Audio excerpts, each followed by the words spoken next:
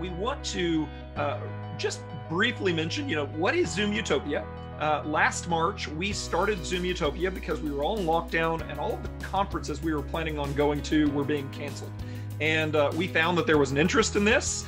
And then also the restrictions just keep going on and the lockdown keeps on going. And so this is the fifth time we're doing that.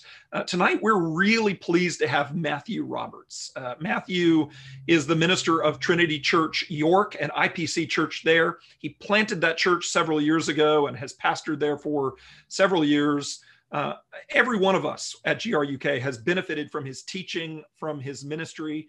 Uh, we're thankful to have him preaching tonight. We would point you, if you want to know more about Matthew after hearing him preach tonight, uh, we have a podcast just a couple months ago called Leaving Anglicanism. And you could find out more about Matthew and his background there.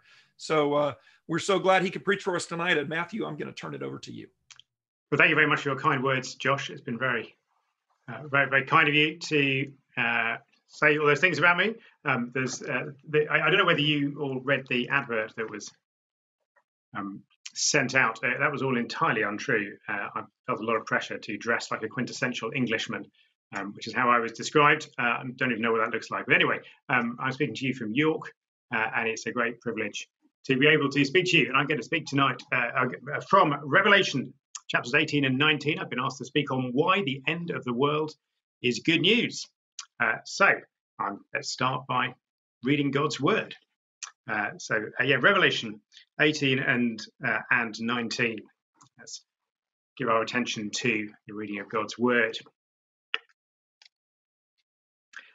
After this, I saw another angel coming down from heaven, having great authority, and the earth was made bright with his glory. And he called out with a mighty voice Fallen, fallen is Babylon the Great. She has become a dwelling place for demons, a haunt for every unclean spirit, a haunt for every unclean bird a haunt for every unclean and detestable beast. For all nations have drunk the wine of the passion of her sexual immorality.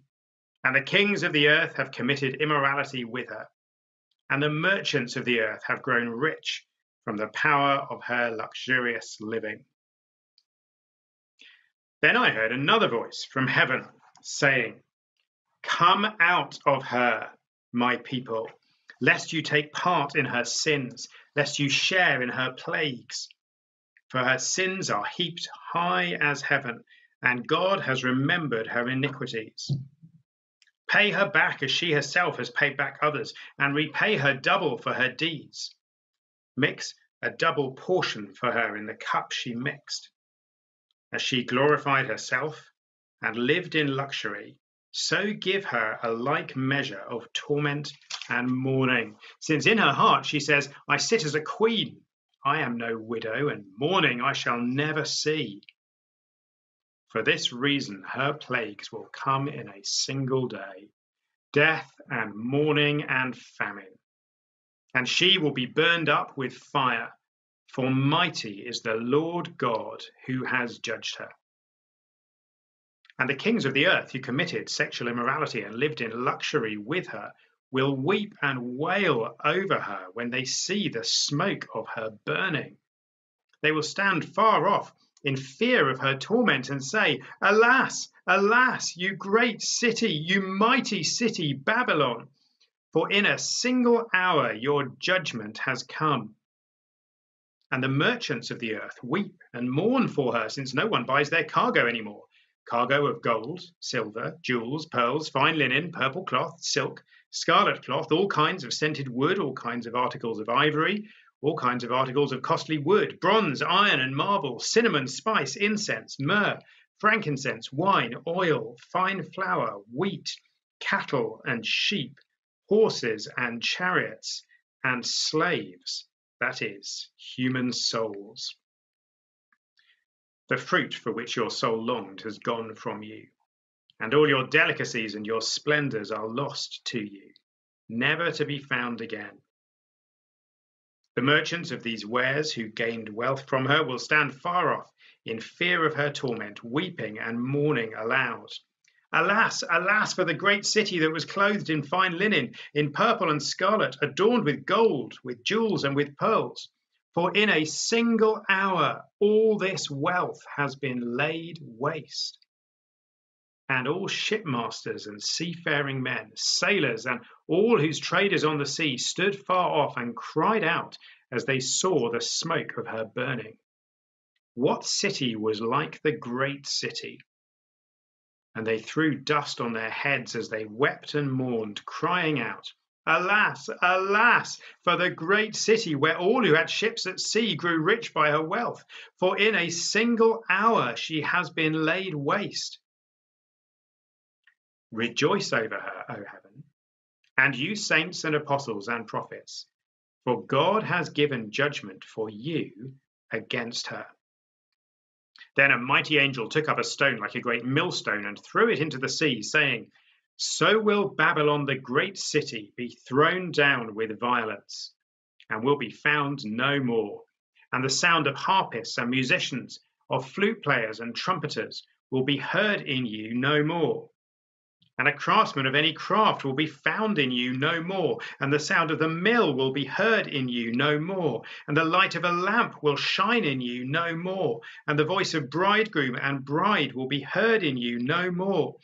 For your merchants were the great ones of the earth, and all nations were deceived by your sorcery. And in her was found the blood of prophets and of saints, and of all who have been slain on earth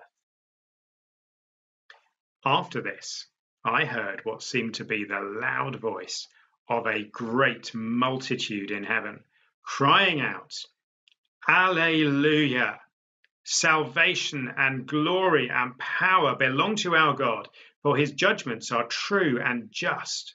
For he has judged the great prostitute who corrupted the earth with her immorality, and has avenged on her the blood of his servants. Once more they cried out, Alleluia! The smoke from her goes up for ever and ever. And the 24 elders and the four living creatures fell down and worshipped God who was seated on the throne, saying, Amen, Alleluia. And from the throne came a voice saying, Praise our God, all you his servants, you who fear him, small and great. Then I heard what seemed to be the voice of a great multitude, like the roar of many waters and like the sound of mighty peals of thunder, crying out, Alleluia! For the Lord our God, the Almighty, reigns. Let us rejoice and exult and give him glory. For the marriage of the Lamb has come, and his bride has made herself ready. It was granted her to clothe herself with fine linen bright and pure.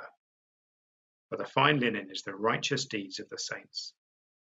And the angel said to me, Write this Blessed are those who are invited to the marriage supper of the Lamb. And he said to me, These are the true words of God. This is God's word. Uh, a wonderful, amazing, and striking passage. Let's pray for the Lord's help to hear and understand what he has to say to us.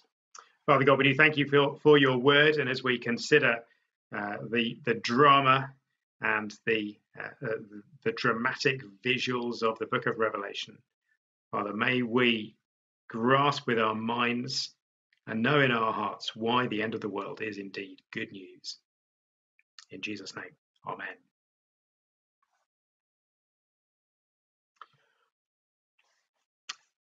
Well, Alleluia.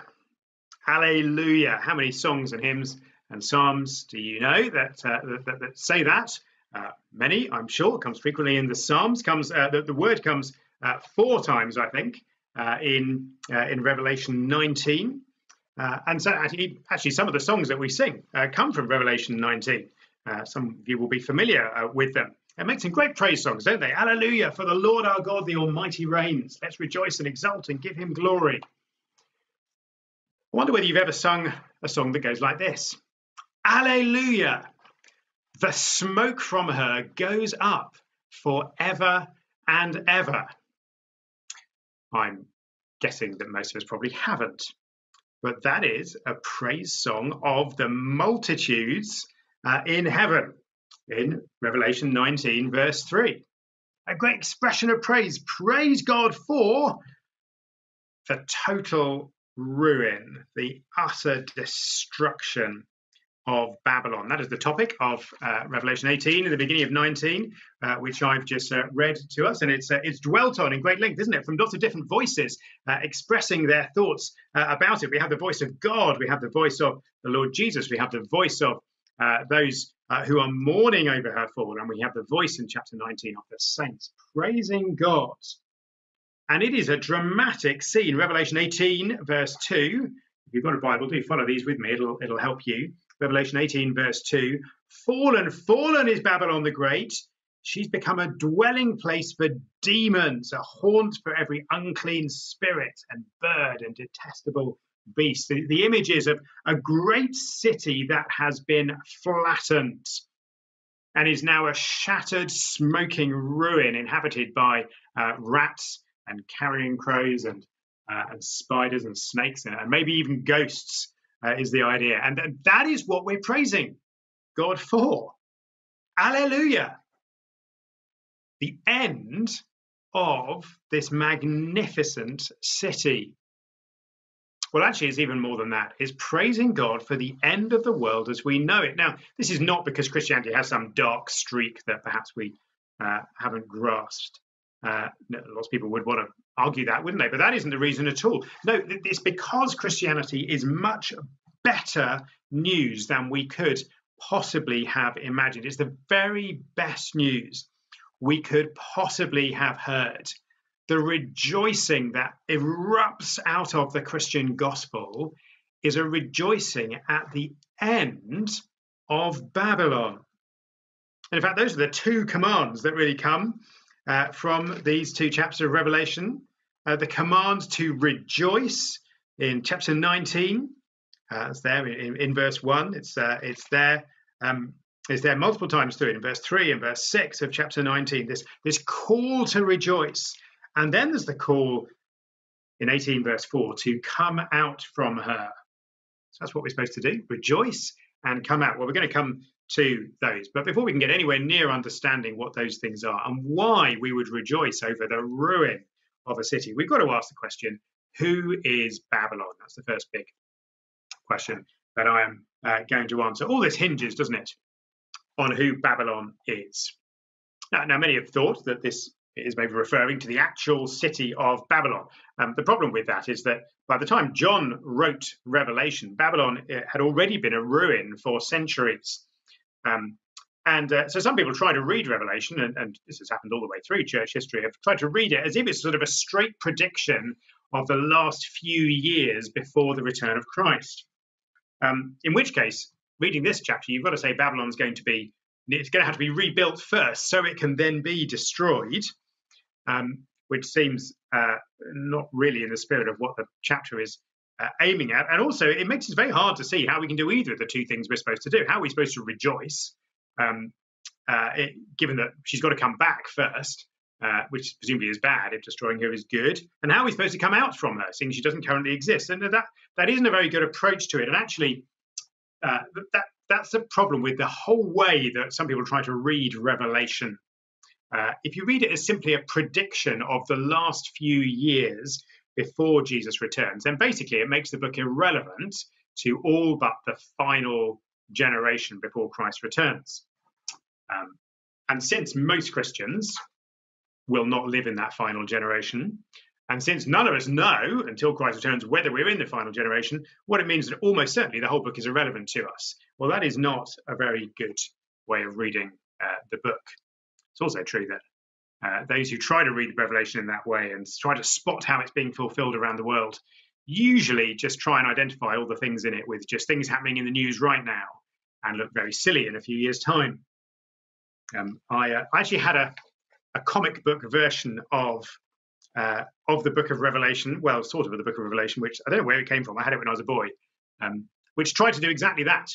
Uh, and uh, Babylon basically was uh, the old Soviet Union uh, as far as I can remember.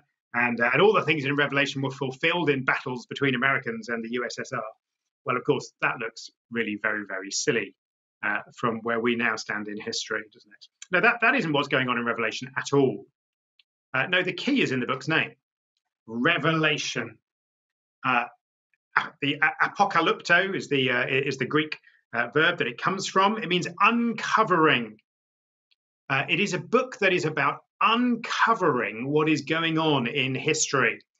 Uh, when I was yeah, when I was young, I used to love the, the kind of books that showed you some amazing machine, an aeroplane or something, uh, and then gave you a cutaway diagram of what was really going on underneath.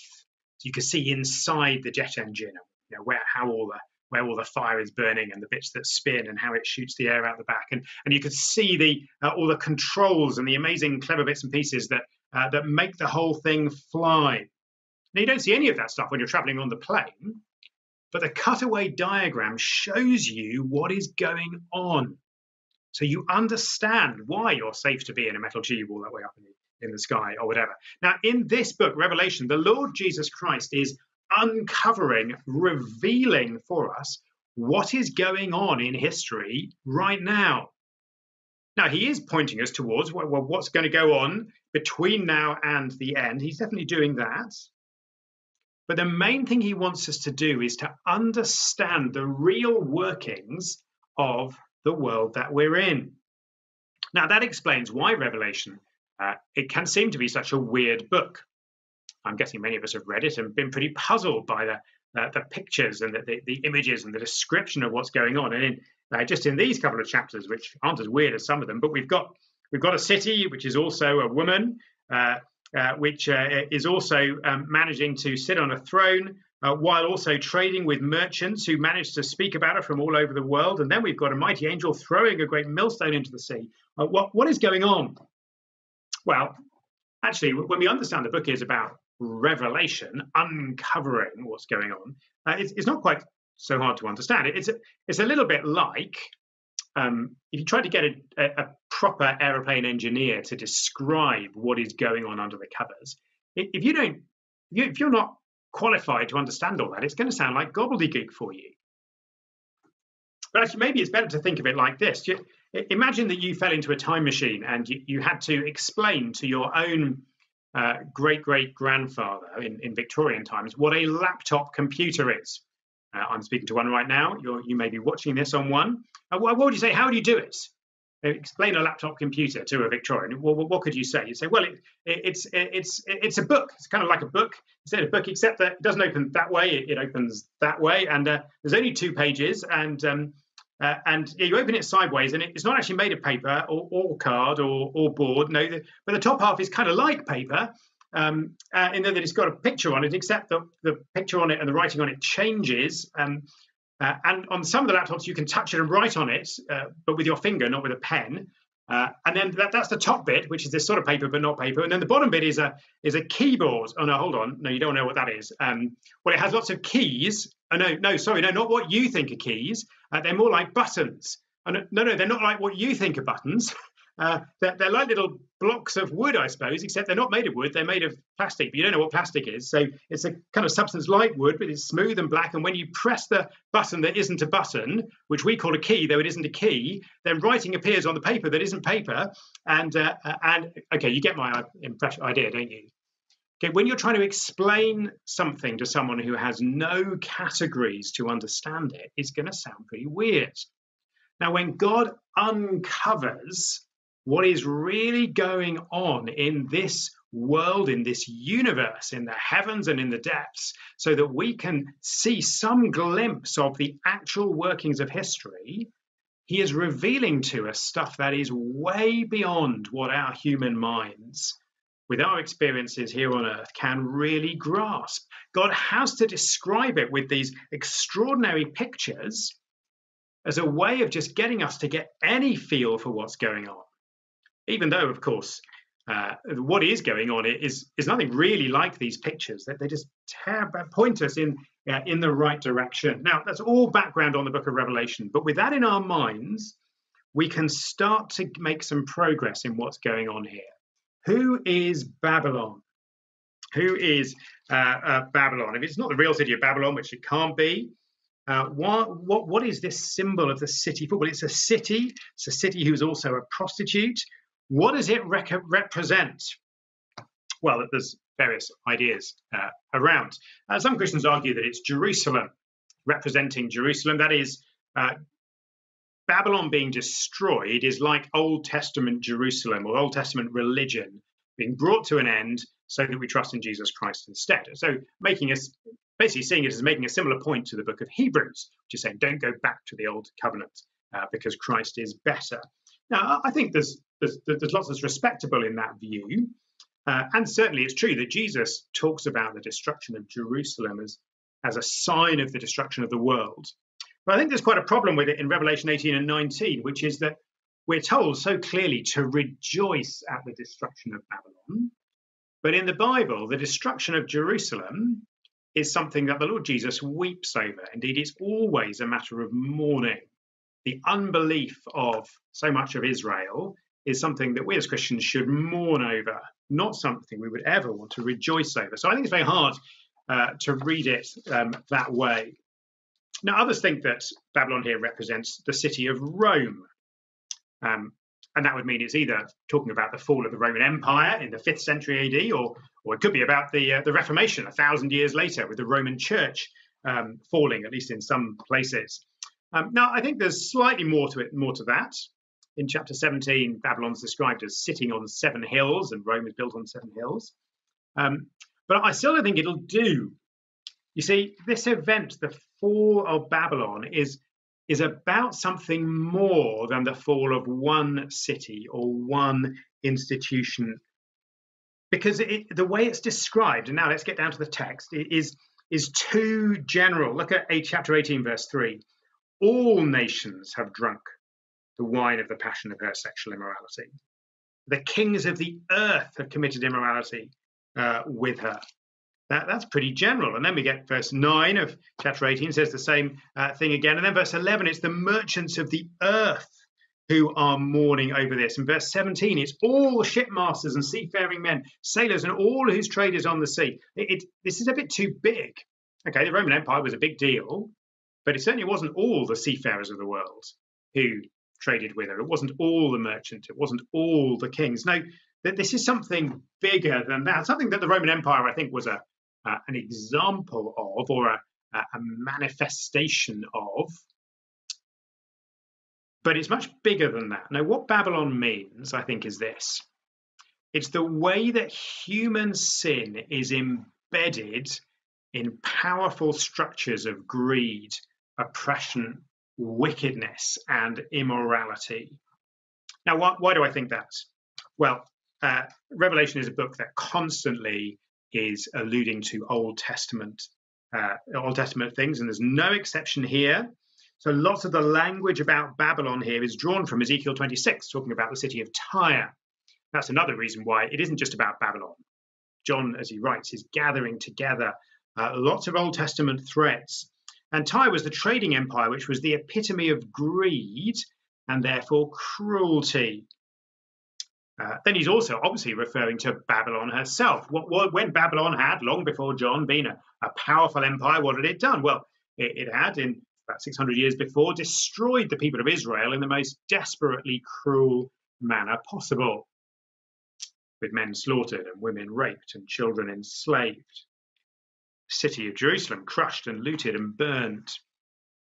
We're told that the Babylonians captured the king of Judah, King Zedekiah, and uh, they made him watch while they slaughtered his sons in front of his eyes, and then they gouged out his eyes immediately afterwards, so that that horrific sight was the last thing he would ever see.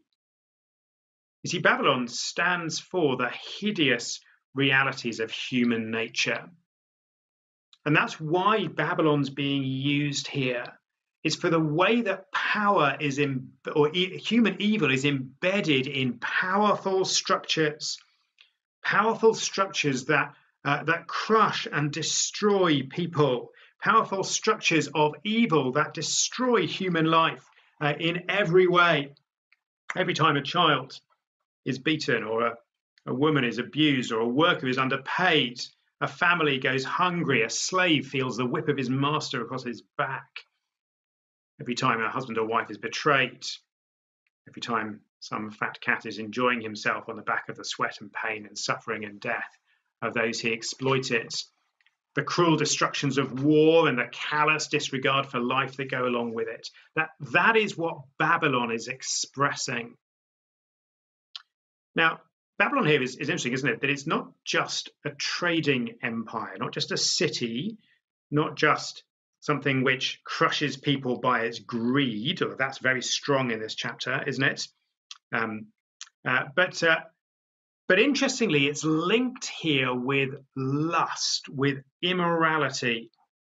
She's not only a city, she is a prostitute. And because in the background of all of this, there is another Bible passage, not just Tyre from Ezekiel, not just Babylon from the days of the exile, but the Tower of Babel, right back in Genesis 11. And there, what was the evil of Babel? Very simply, it was people deciding that they could build their own heaven, that they could be God without God. That's almost certainly um, alluded to in chapter 5, verse 18, where it says, Our sins are heaped as high as heaven. Uh, the Greek word that John uses um, literally means stuck together uh, uh, as high as heaven, which is probably an allusion to the fact that they used bitumen for mortar uh, in, uh, in the Tower of Babel story. You see, human evil is not simply located in the structures of greed and power and political uh, influence and uh, and economic might. Uh, no, you you find it there, but it is driven by the human desire to worship ourselves. It's driven by our desire for greatness and glory and pleasure. It's driven by our refusal to worship the living God. And so that is why Babylon is described here in the way she is, as being powerful. It's the nature of economic domination. Do you notice that it's very contemporary, isn't it? Verse 16, alas for the great city that was clothed in fine linen, purple and scarlet, adorned with jewels, and loads about this. And then we had all the trading in verses 11 and 12. It's really hard to avoid trading with Babylon if you want to trade at all. That's the picture. Because economic muscle is huge. We know that in our world, don't we? very hard to resist the power of the mega corporations uh, and the rich nations on earth.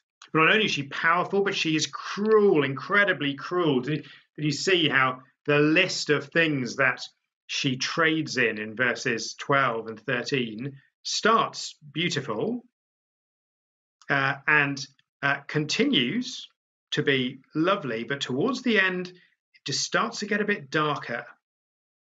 As it trades in food, some are missing out on food. To trade in horses and chariots, well, this isn't talking about horses and chariots used for fun. This is about weapons, trading in arms. And then, of course, it ends with slaves, human souls. Notice how Christianity has always been against slavery. There is a cruelty to the power of human sin. But also, not only is she powerful and cruel, she is incredibly alluring, is Babylon. This is the most disturbing thing. She's not only a city, not, not, not, not described as a king, although she does think she's a queen. No, she's a prostitute, and she's not a cheap whore. She is a very high class call girl.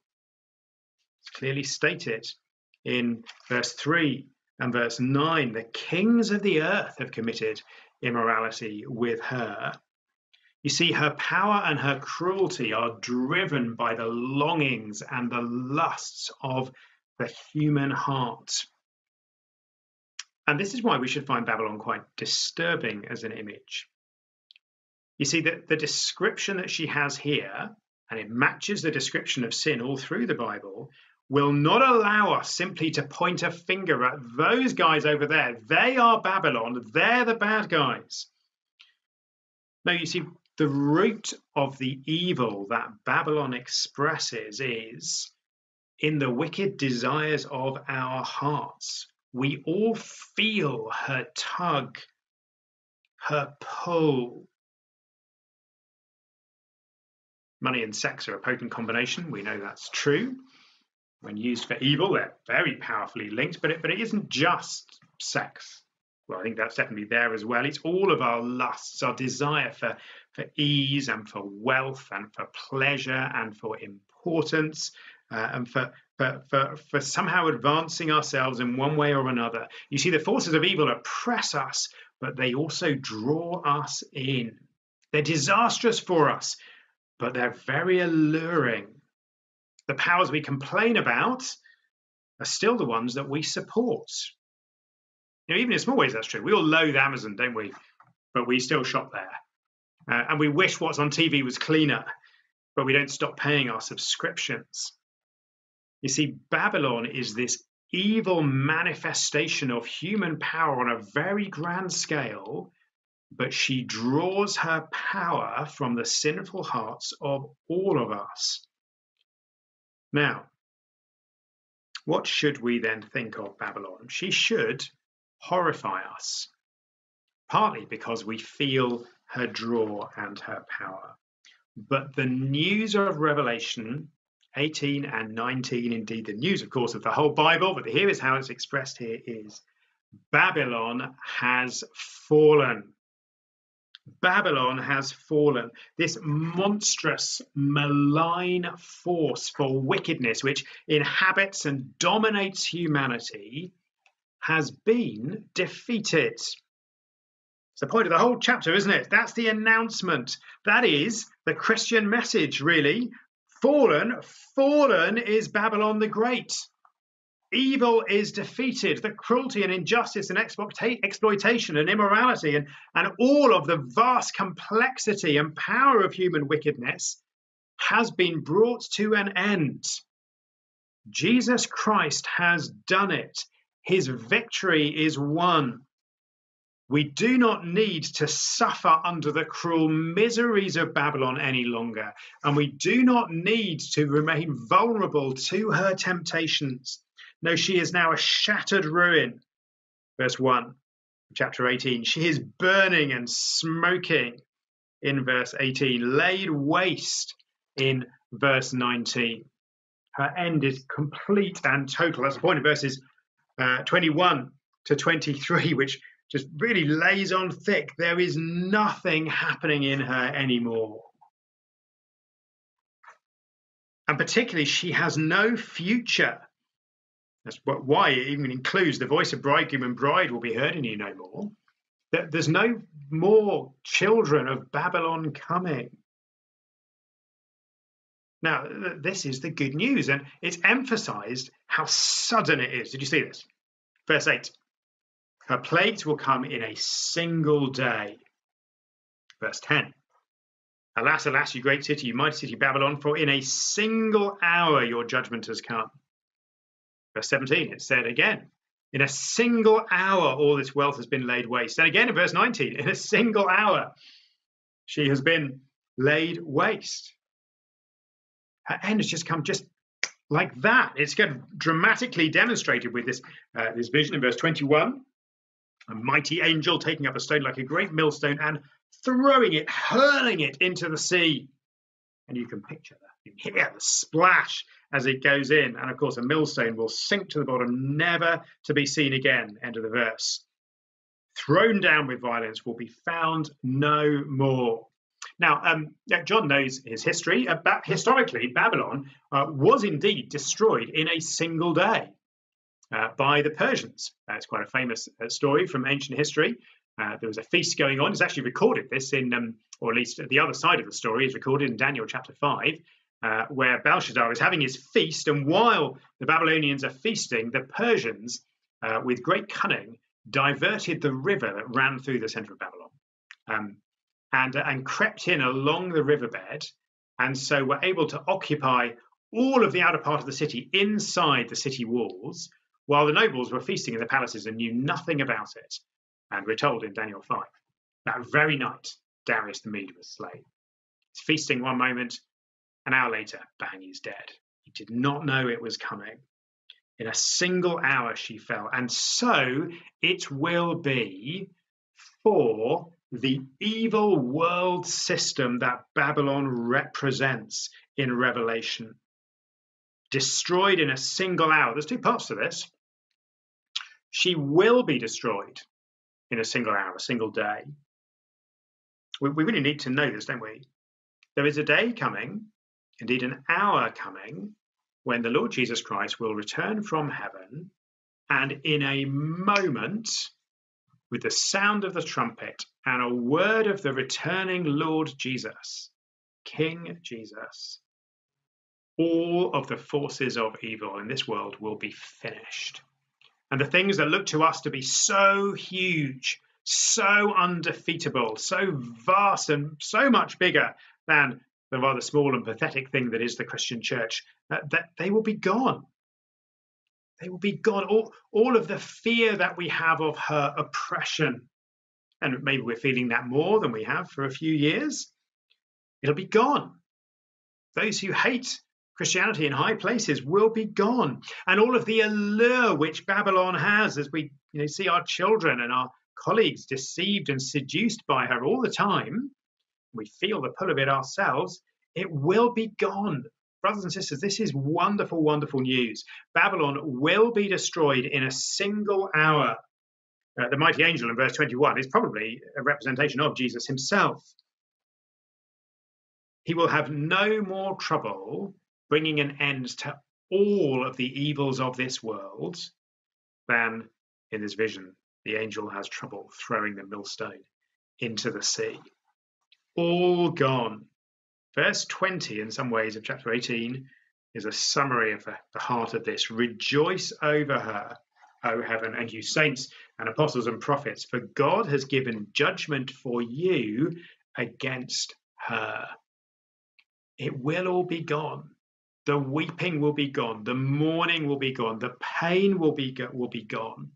The struggle will be finished. The suffering will be ended. She will be destroyed in a single day. But I said there were two parts to this. She will be destroyed in a single day, single hour, because she has already been destroyed in a single day, in a single hour the uh, Revelation is very happy to kind of talk in the past tense for things that, well, there it is in the future. And yet, actually, this destruction of Babylon has already happened. She's been destroyed in a single hour at the cross of Jesus Christ.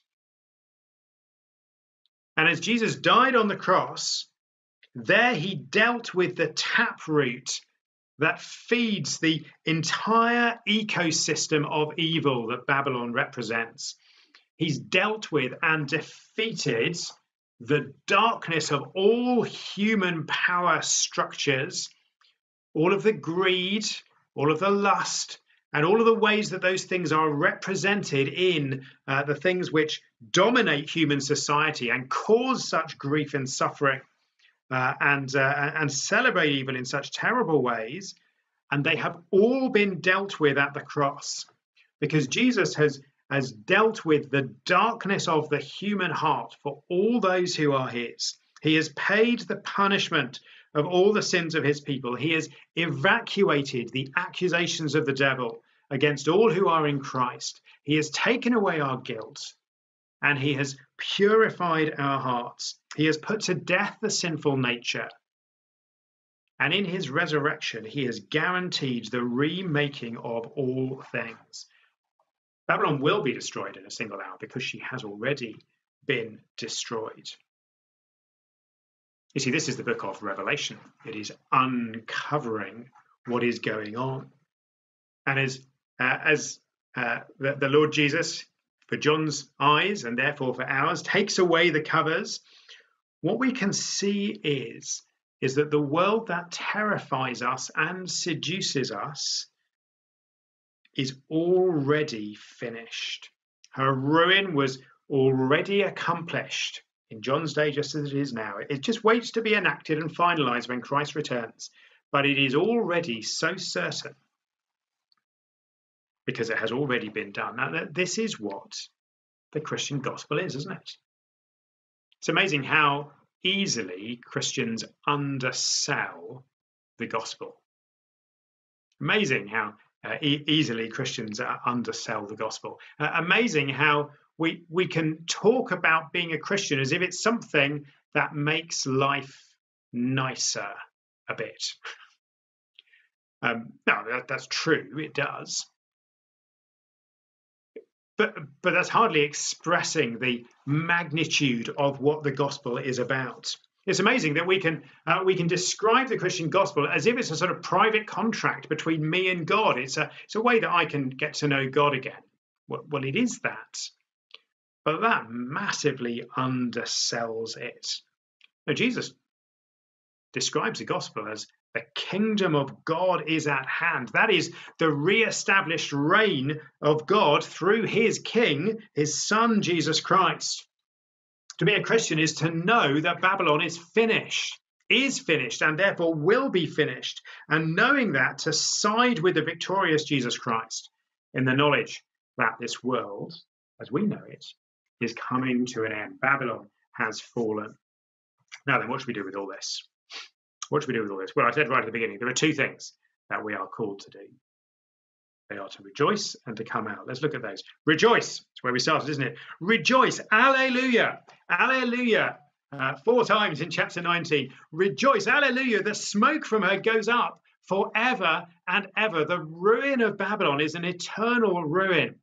And the idea that some people have that in, uh, in, in, the new creation, uh, we're going to look back and feel sad that this, this world has been, as we know it, has been brought to an end uh, it completely fails to understand the gospel.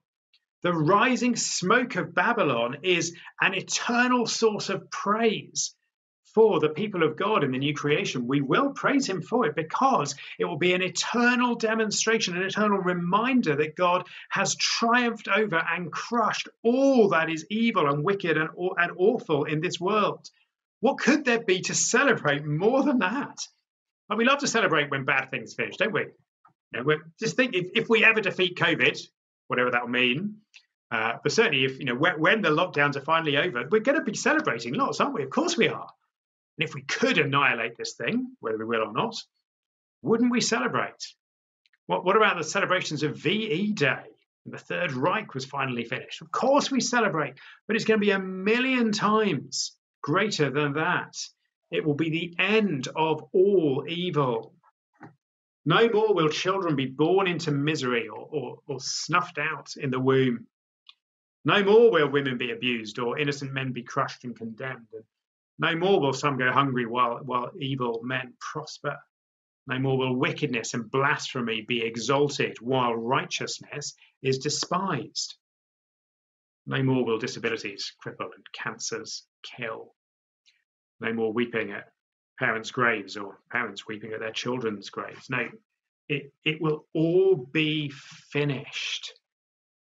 And the smoke from her will go up forever and ever. Although, actually, that is not the end of the celebration.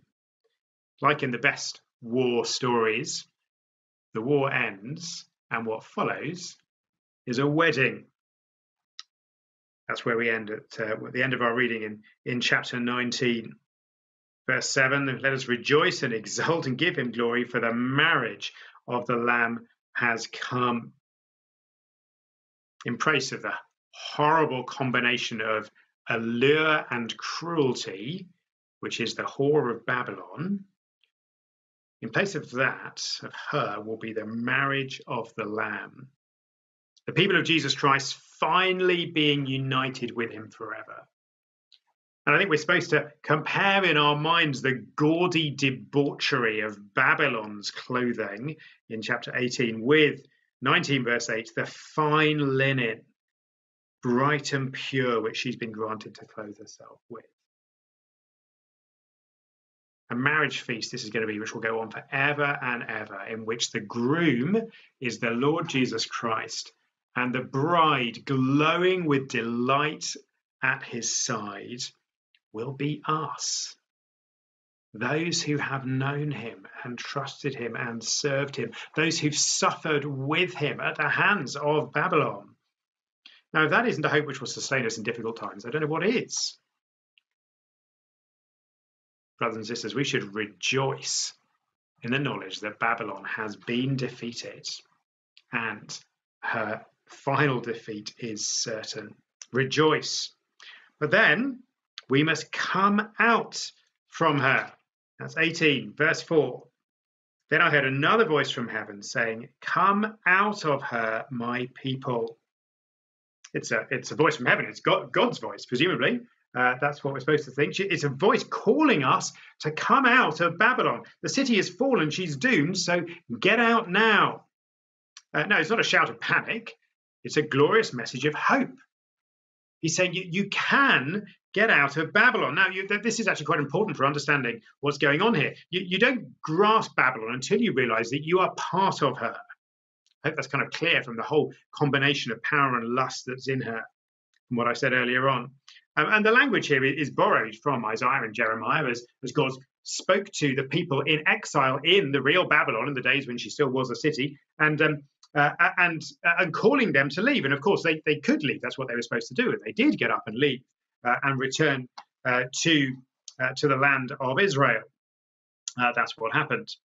but of course, as John writes, he's writing to Christians, and it's Roman culture that stands in the place of Babylon. And and as John passes on this call from heaven to leave, you need to realize, of course, the Christians who are hearing this couldn't physically leave just as we cannot physically leave. Babylon is this worldwide system of evil. well, where are we supposed to go?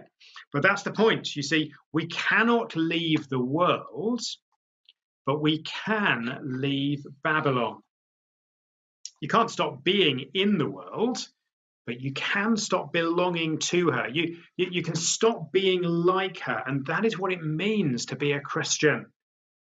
Christians are those who are called to come out of Babylon.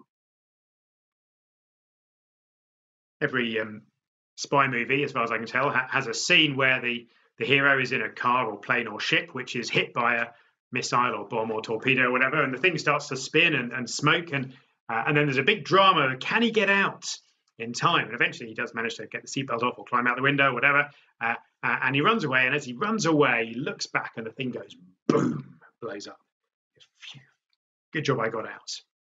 Well, that's the call is that look, you need to know Babylon is finished. If you're a Christian, you do know Babylon is finished. She's defeated. In a single hour, her destruction has come, accomplished by Jesus on the cross, certainly to be applied by him when he returns. And so you need to get out. You need to get out. And that is what it means to be a Christian. That's why the entrance of the Christian life is baptism, which is a sign of leaving this world, of dying to this current life and rising to a new one. Get out of Babylon. How do we do that? What does it mean? Well, it means, firstly, don't mourn for her. There's a lot of mourning in Revelation 18, isn't there? Lots of people saying, alas, uh, alas uh, for her. I think I counted that three different times uh, with the kings and the merchants uh, and the shipmen um, as they um, uh, as they, they cry out, uh, alas, they mourn for Babylon because they loved her. Friends, we need to teach ourselves not to love Babylon. Don't mourn for her. The world promises us much. And our hearts naturally long for those things. But it's all an illusion. And we need to stop ourselves loving Babylon. We're, we're, a wealthy nation. We live in here in Britain. some of you are watching from uh, other places too, but uh, there's loads of wealth, isn't there? Riches, health, good food, pleasure. And okay, we're complaining about COVID, but to be honest, life's still pretty good in lots of ways. It's all an illusion. Don't love it. Don't long for it because the greed that makes us long for the good things of this world is all part of the power structure of Babylon. So we must abandon it. We must thank God for the good things He gives us, but we're not to long for them or trust them or desire them or worship them. This can be very costly for us. And it's something that's a lifelong discipline. Don't mourn for her and don't take part in her sins. That's also in verse 4 of chapter 18. Come out of her, my people, lest you take part in her sins, lest you share in her plagues. Remember, she is a whore she will try to draw us in, give us things that we want, offer us things that we want sex, comfort, power, money. We must be on our guard. TV, social media, Society as a whole is designed to make us long for such things. Well, the best way to inoculate ourselves against doing so is to join in the celebrations at her fall. God has given judgment for you against her, against her. Let me end. Jesus announces to us all today Babylon has fallen. The present order of things is passing away. The end, not of the world, but the end of the world as we know it, and the structures of the world as we know it, is, is coming. They're false anyway, they are disappearing. Their, their, their destruction has been delivered and will be accomplished. So now is the time to leave. There are two futures you can share. You can share the future of the whore of Babylon, or you can share the future of the Lord Jesus Christ as his bride. Well, which do you want to do? Do you want to be Babylon's client or Jesus Christ's bride? I hope that it's a non question, isn't it? A no brainer. Let us discipline ourselves, urge ourselves uh, to uh, tear our hearts away from the things of this world, to no longer want to have to do with Babylon, and instead to devote ourselves to Christ, to devote ourselves to Him, to celebrate the fact that this world is, is coming to an end. Because the end of the world as we know it is good news. Well, I'm going to lead us in prayer, and uh, then I think I hand over to someone else. Let, let me pray. Father God, we, we're uh, awestruck by your words. We're amazed at the gospel, at the, the power of what the Lord Jesus has accomplished, at the, the riches of the hope that he offers us, at the, uh, the wonderful, wonderful news, which we, if we're honest, find it hard to dare to believe that the evils of this world that seem so triumphant are coming to an end because they have been defeated by Christ. Our Father, we pray that you will help us to uh, rejoice in that. Help us to uh, love our Lord Jesus. Help us to praise him, praise you for his defeat of them, to set our hearts on his return. And we ask it in Jesus' name. Amen.